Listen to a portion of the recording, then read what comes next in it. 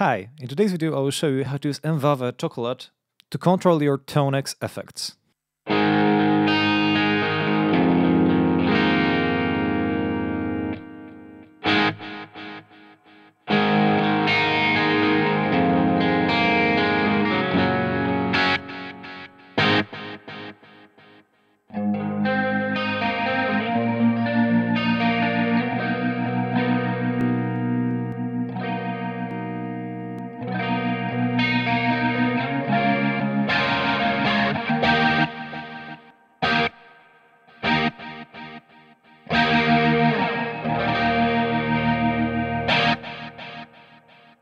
Currently it's working this way. Switch A turns on the delay, switch B turns it off, and the same with modulation, the switch C turns it on, and the switch D turns it off.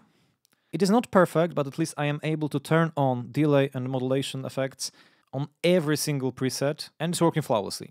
Okay, first thing that you have to do is we need to download a CubeSuite software. Let's go here and download CubeSuite for Windows or for Mac OS. Next, we need to plug our Chocolate MIDI controller to the PC via USB-C cable. Okay, let's plug it in. And once everything is hooked up, you should get something like this, foot controller. Okay, first thing what you have to do, we need to change the mode selection to advanced custom mode. Let's go here. And this is what I did. You'll probably have nothing here, so we have to add something like this. Let's go to add, click twice. Let's leave it at 1 let's go to the CC and let's change it to 2 and 127. Basically what we have done, by using this foot switch, right now I will turn on the delay. So basically this number is a delay on or off. And if you have it on 0, it will be turned off and on 127 it will be turned on. Okay, I think it's fairly straightforward. Let's go to OK. And let's go to a foot switch B. What I have here, there is a zero. So this will turn the delay off.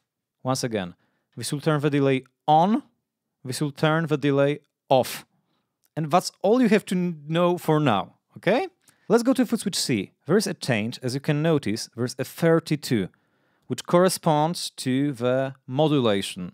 So basically, it means that 32 is a mod on or off, 127 turn on. And the D, 0. So once again, this corresponds to action. So for example, you can turn on compressor, you can turn on uh, modulation, that kind of stuff. Okay, so once again, A will turn the delay on, B will turn the delay off, C will turn the modulation on, D will turn the modulation off. Okay, so let me demonstrate. We have a basic patch. It has no delay, it has nothing. When I turn this on, there is a delay.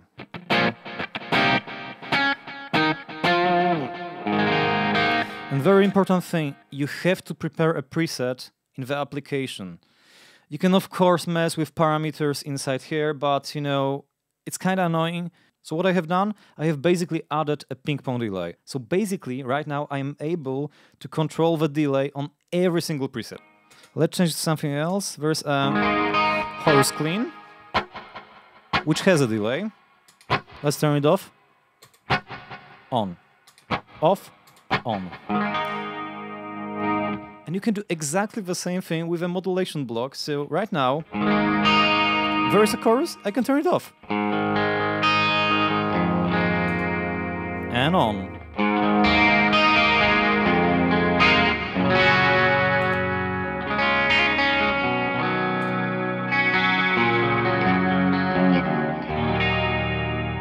Very important thing, I am using a Bluetooth receiver by M-Vave. You can probably hook it up with TRS cable and that will be good enough. But if you want to keep it simple, you should use a receiver as well.